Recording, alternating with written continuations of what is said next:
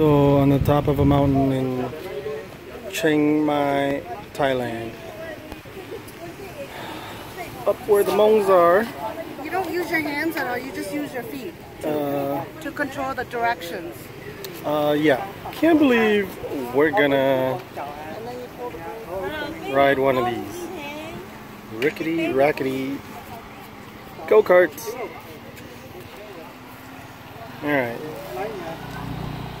This is a popular tourist attraction, I guess. Up in the Chiang Mai mountain, which I don't know the name of. It's a Hmong village up here somewhere. Super steep walking up. Hmm.